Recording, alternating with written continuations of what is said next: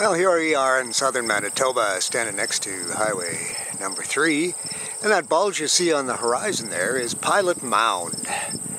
And that is one of my destinations today. Pilot Mound, rather than being a glacial formation, is in fact an upheaval of natural gas from below. So the glaciers did have do their work on top of it, but that's what formed Pilot Mound. And here I am at the foot of Pilot Mound.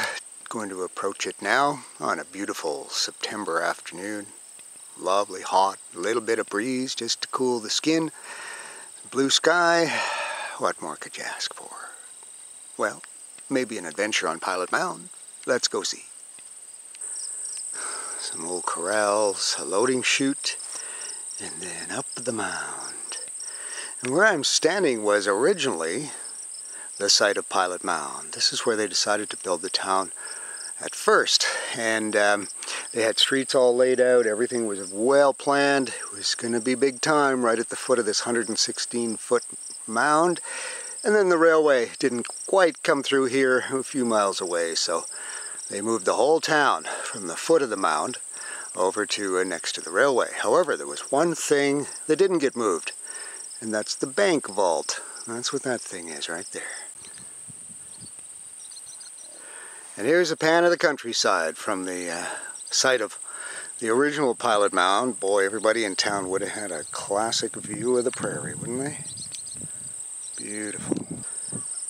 Well, here's the 360 degree pan from atop Pilot Mound. Right down there is the McKay farm. I talked to Pam yesterday and she gave me permission to come to the top of the mound today.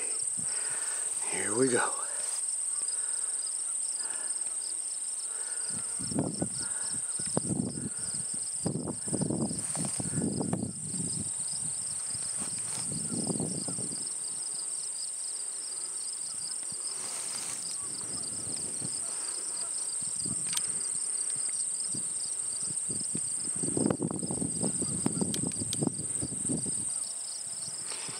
You know, I'm standing atop Little Dance Hill.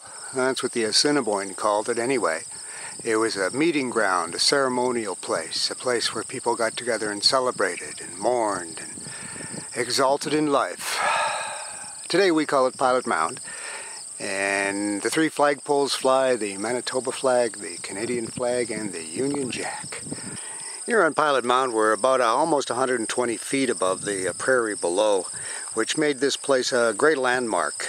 It served as a beacon for animals and hunters and settlers and explorers and people who needed to find a landmark on the prairies. This was one of well, aside from numerous awestruck humans and animals, some other people who visited Pilot Mound with an agenda where uh, Sir John A. Macdonald came here and addressed a throng of people. Thousands literally turned out to uh, hear the man speak, and uh, it was here on Pilot Mound that he uh, orated.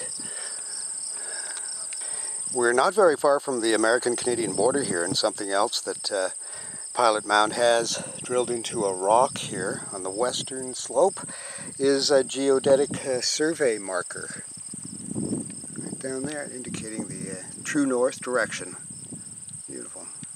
Lots of these along the uh, border here.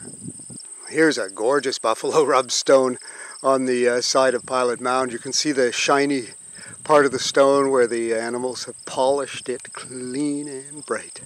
Mm, must have felt good to relieve all those bites.